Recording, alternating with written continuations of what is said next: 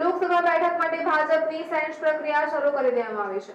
શહેર ભાજપ કાર્યાલય ખાતે સેન્સ પ્રક્રિયામાં વોર્ડના હોદ્દેદારો, શહેરના હોદ્દેદારો, કોર્પોરેટરો, ધારાસભ્ય સહિતના આગેવાનો સેન્સ પ્રક્રિયામાં ભાગ લેવા આવ્યા હતા.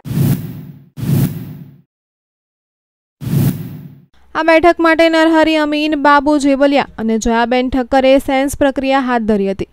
જેમાં મોદી રાજકોટથી ચૂંટણી લડશે. તેના જવાબમાં બાબુ જેબલિયાએ જણાવ્યું હતું કે અન્ય ઘણા સક્ષમ ઉમેદવાર છે. મોદી નહીં લડે. તો નરહરી અમીને કહ્યું હતું કે મોદી અહીંથી લડે તો આખા સૌરાષ્ટ્રને ફાયદો મળે. આમ એક જ પક્ષના બે નેતાના નિવેદનોમાં વિરોધાભાસ જોવા મળ્યો. વર્તમાન સાંસદ મોહન કુંડારિયાએ ગત ટર્મમાં ટિકિટ આપતા લોકલ રાજકારણ ગરમાયું હતું. લોકલ ભાજપની ટીમમાં આંતરિક વિરોધ દેખાયો હતો. જેના પગલે રાજકોટ ભાજપના કાર્યાલયને તાળા મારી દેવાયા હતા.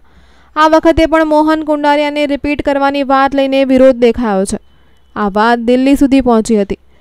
સેન્સ પ્રક્રિયામાં પણ અંદર ખાને વિરોધનો ગણગણાટ જોવા મળી રહ્યો છે.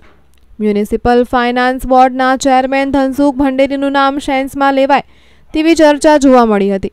રાજકોટ બેઠક પાટીદારનો ગઢ છે. માટે ઉમેદવારની પસંદગી પણ લીવવા અથવા કડવા પર ઉતારવા પડે તેવી ભાજપની સ્થિતિ છે. એક અટકળ એવી છે કે રાજકોટ બેઠક ભાજપનો ગઢ છે. મોદીએ ધારાસભ્ય વખતે પણ સૌપ્રથમ ચૂંટણી રાજકોટ બેઠક પરથી લડ્યા હતા.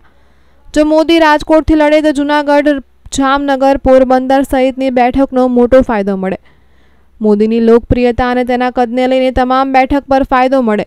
ગત ટર્મમાં ગુજરાત સૌરાષ્ટ્રમાં તમામ બેઠકો પર કેસરીઓ લહેરાયો હતો, જે મોદી લહેર જ હતી. આ વખતે પણ તે ફાયદો મળી શકે તેમ છે.